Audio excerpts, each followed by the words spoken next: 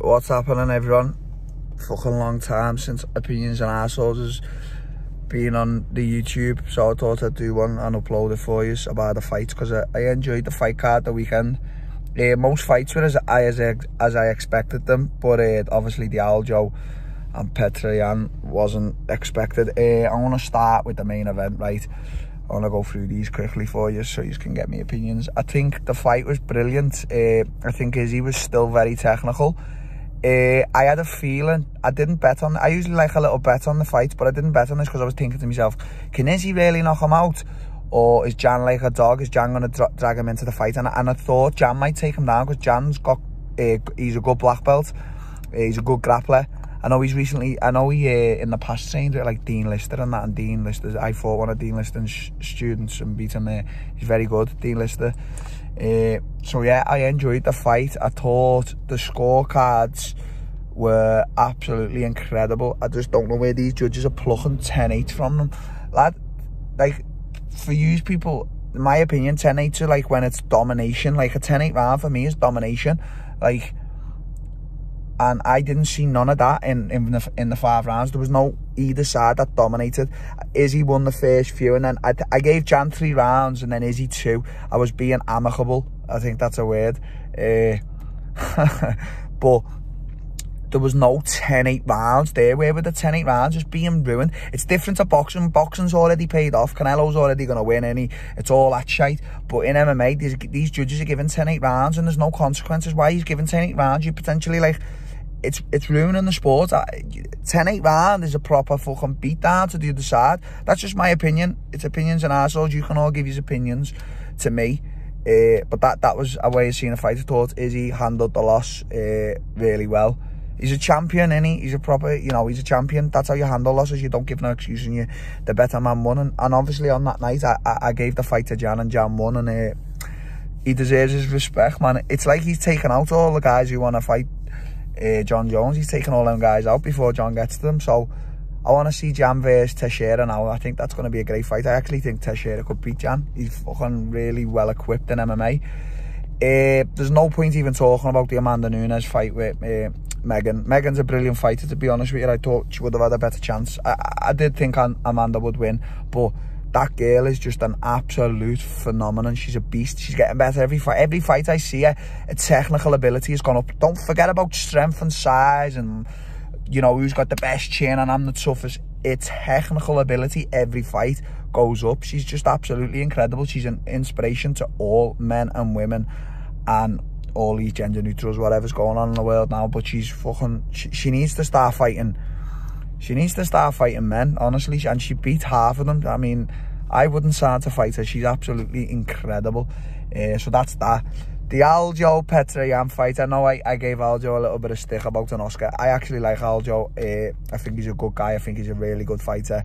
He, he's sparky as well. Like he's got a bit of swagger to him. You know, he, he knows how to sell a fight. Petr Yan, I, I, I follow him sometimes on a. Uh, watch what he does with training wise and that he's just an absolute workhorse. He just works works works. I know he spends time in Thailand. Uh, I didn't really think about this fight who was going to win or not. I thought it was probably 50-50 maybe 60-40 to Petr Yan going in just because of the gas tank. And I didn't know if Aljo could take him down and hold him down you know I don't know. It, I was before the fight I was thinking oh is it possible? What but Petr Yan was winning the fight. I'm not going to Yan was winning the fight. Uh, I'll just call him Petr Yan.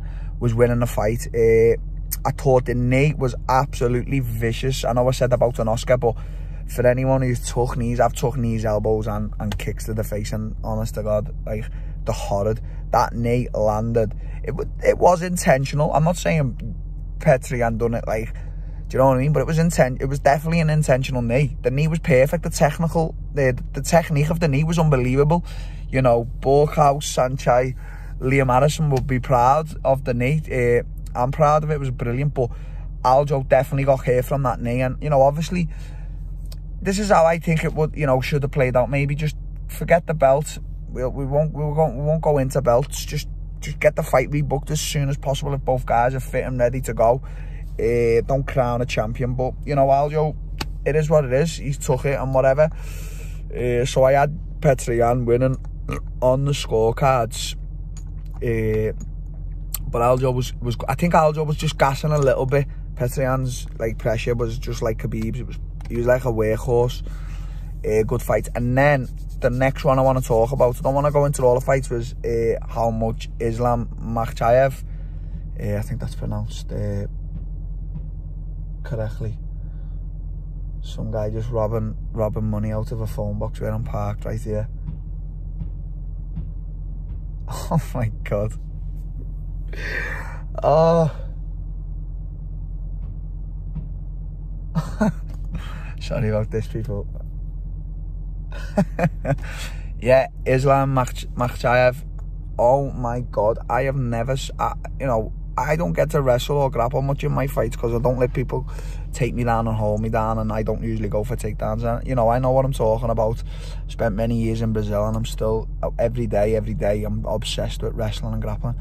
Islam is possibly the best grappler, one of the best grapplers I've seen. Like, oh my God, that pressure on top. He doesn't really punch, just the pressure. You see what he does with his like shoulders and his hips and like transferring his weight one side to the other. Honest to God, phenomenal. Like, I think I seen, I don't know, if, I think DC was saying like, uh, he beats Khabib in the gym. I'm not sure how true that is. Like, I'm sure they have a proper war, but he's meant to be like the second coming of God in this the lightweight division. I think he's going to be a proper problem. I'm not big. I don't want to disrespect any of these top ten guys in lightweight and big them up to be like, oh, he's this that, but he's definitely going to be a problem. But you know, these top fives in the lightweight, I'm a big fan of Charles Oliveira. Obviously, Dustin, you know, is my main man. Obviously. Uh, I picked against him and went for him in the Conor fight. I was a bit back and forth. I didn't know where his head was, but this is fighting, man. It's opinions and assholes. But the top the top five in lightweights is, is is disgustingly good, but Islam is definitely can definitely be one of them. I think he can be champion. You know, I would put money on him. Uh, impressive, but that's it. Uh, so give me your opinion, say whatever you want. I'm not asked. Talk shit about my mum or just give your opinion on the fights. I'm not asked. It's what it's for. Opinions and assholes. I don't get offended by anything you say. Don't get offended by anything I say. And that's just how we should all be. Live in harmony and just, you know, have a bit of beef, have a bit of banter. Uh, so yeah, Belter UFC card. Looking forward to my fight with Marvin on uh, 10th of April. I think it's going to be a good fight. I think it's tech technique versus brute strength. I think Marvin is just very, very tough. I think he works really hard. I think he wants it. I know he wants it because he keeps calling me out on Instagram. And, you know, how much, let's just see how much I want it and how good my technique is on the night. If I can school them, I think I can. So I'm looking forward to it. I'm training hard. I'm in my two dressing gowns now, black eyes, just waiting for a little, uh, just waiting for a little ting. And that's it. Peace out.